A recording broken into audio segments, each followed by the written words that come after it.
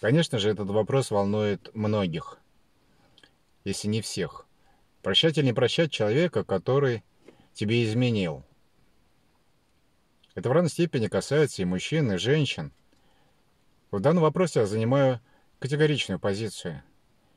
Независимо от того, любишь ты человека или нет, прощать акт супружеской неверности ни в коем случае нельзя. Дело в том, а это очень наглядно показывает жизнь, что подобное будет совершаться вновь и вновь. Просто опять сложатся определенные обстоятельства, при которых человек забудет и свои обещания, забудет и свое раскаяние. Другое дело, что вы можете понять человека, причины, почему он это сделал. Но согласитесь и будьте честны сами собой. В душе вы его простить никогда все равно не сможете. Не получится. Вы можете обманывать самого себя или саму себя. Вы можете глубоко загнать подсознание подобные переживания и чувства, а это и без этого произойдет. Подсознание, конечно, вам потом будет очень жестко за это мстить и руководить вашими поступками, которые вы даже осознавать не будете. Ведь психологическая травма нанесена, и она неизлечима. Неизлечима. Она излечивается лишь в одном случае. Если вы, после того, как узнали о том, что вам изменили, расстаетесь с человеком навсегда. Жестко, правда? Да, это жестко, но это единственный способ продолжать дальше жить счастливо. И первое время, конечно же, будет трудно. Но у вас будет всегда шанс вновь построить хорошие, нормальные партнерские отношения. Но уже с другим человеком. Этот человек вам счастье уже точно не принесет. И даже если он будет стараться, даже если он будет стараться, еще раз повторяю, вы не сможете. Это забыть, это омрачит. Все ваше совместное существование на всю вашу жизнь. У вас уже не будет на двоих одной единой вселенной. Вы не сможете дышать одним и тем же воздухом. Для вас он уже будет разным. Для вас он будет отравленным, наполненным зловонием. Конечно, вы будете пытаться забыть об этом, ведь это сплошь и рядом. Но ведь не получается, правда, и не получится. Поэтому единственный способ это действительно, раз уж это произошло, не особо разбираясь, в чем, собственно говоря, причина, почему это так вышло, расстаться с этим человеком. Для него это будет очень хорошим уроком, возможно, он его и извлечет, и при построении следующих отношений подобное не допустит. Но у вас, еще раз повторяю, появится шанс встретить человека, с которым подобное не свершится. Но вы можете меня спросить, а как же дети? Видите ли, тут опять-таки каждый из вас отвечает на этот вопрос по-своему. Если вы готовы принести в жертву свою жизнь, свое счастье во имя детей – чтобы они видели рядом обоих родителей, то, пожалуйста, пожалуйста, но, уверяю вас, ваша жертва практически будет напрасной, потому что ваши дети вырастут в атмосфере недоверия, нелюбви. Они это будут чувствовать осознанно или подсознательно, но это будет тоже очень плохая школа. Дело в том, что правильное воспитание подразумевает правильный пример со стороны родителей. Раньше, в старину, это как-то было охраняемо, оберегаемо. Сейчас этим люди вопросом вообще не заморачиваются. Смена партнеров происходит сплошь и рядом. Действует по умолчанию. Я закрою глаза на то, что ты делаешь, а ты закрой глаза на то, что делаю я. Мы свободные люди. У нас свободные отношения, но общие дети – или общий бизнес, ради которого мы не будем разрушать наши брачные отношения. Это называется жизнь во лжи. Подобная жизнь всегда мстит тем людям, которые об этом договорились. И месть это бывает жестокой. Жестокой. Но давайте зададимся другим вопросом. А в каких случаях возможно, что люди не изменяют друг другу? Есть лишь два Два случая, ребят.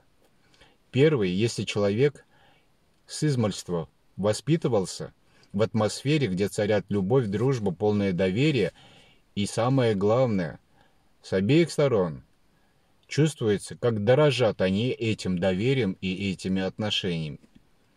Дети растут и воспитываются, как правило, на примерах. Как правило, на примерах. И если это уже традиция, духовная традиция, национальная традиция, семейная традиция, то дети воспринимают это вместе с молоком матери. Для них это априори. Так и должно быть. У них даже помыслов не будет смотреть в сторону. Они и к браку, и отношениям семейным будут относиться изначально крайне серьезно, как к чему-то очень чистому, святому, что не подлежит никакому омрачению. Это один случай. Еще раз подчеркиваю, теперь это встречается все реже и реже, возможно, скоро совсем исчезнет. Второй случай. Второй случай связан, если человек в какой-то момент своей жизни вдруг начинает жить духовной жизнью, имеет тягу к этому, причем очень сильную тягу. Тогда для него вопрос верности – это вопрос, в первую очередь, собственного духовного развития. Он даже может быть не уверен в своем партнере, может сомневаться в нем. Он остается верным не потому, что другой человек ему верен – или потому что дана клятва, или еще по каким-либо другим причинам. Нет, есть основная причина. Он прекрасно понимает, осознает, что эта верность нужна в первую очередь для самого себя. Без этого он развиваться не сможет. Дальше подъема не будет. Это серьезное препятствие. И подобный акт всегда бывает осознанным, осмысленным. Самое главное, добровольным. Его принуждать не надо. Его убеждать не надо. Это его потребность. Хотя инстинкты, безусловно, будут пытаться свести его с этого пути. Так уж устроена природа человека и предыдущая система воспитания, которая, возможно, подобной верности и не предполагала, как нечто важное, как нечто даже, скажем так, архиважное.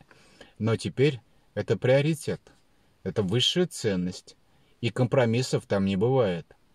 Человек, который живет и осознает, что каждый шаг его, каждая мысль, каждое намерение, каждое желание открыто совершенно для высшей силы, для Бога, который смотрит на него, как на человека, который поднимается на вершину горы в своем развитии, такой человек, безусловно, будет стремиться к верности во что бы то ни стало, ибо это самоценно, ибо это сверхценность. И только в этом случае, ребят, только в этом случае. Но, скажете вы, хорошо, он-то верит, на что другой человек, если тот изменяет. Для такого человека, ребят, подобное отношение, когда один партнер изменяет, а другой нет, бессмысленны совершенно. Он и на партнерские отношения смотрит по-другому, как на Вселенский союз мужчин и женщин, для которых, еще раз подчеркиваю, одна Вселенная – один воздух, которым он дышит, это для него ценно и важно. Да, могут остаться дети. К сожалению, очень часто мы совершаем ошибки, я не являюсь исключением из тех людей, которые совершал такие ошибки. У меня было два неудачных брака, и мои дети с определенного возраста росли без моего участия в их воспитании – Гены, конечно, свое дело сделаны, и я горжусь своими детьми, но я прекрасно осознаю, что они многое не получили. Но дело в том, что вне любви я жить никогда не мог и не могу. И это чувствуют и осознают многие из вас. Но лишь вопрос в том, идти на компромисс или нет. У меня огромное количество знакомых, друзей даже, и у вас они тоже есть, вы видите – как на самом деле устроена жизнь людей, которые закрыли глаза на измены друг друга. Для вас они эталоном счастья точно не являются. А впрочем, и ваша семейная жизнь у многих именно так и проистекает. Вы всегда логически будете объяснять, почему вы сохраняете брачные отношения. Разум вам подскажет. Но еще раз подчеркиваю, вы не обманете свое подсознание – вы не обманете самого себя. Вы никогда не будете счастливым человеком. Подумайте об этом. Подумайте хорошенько.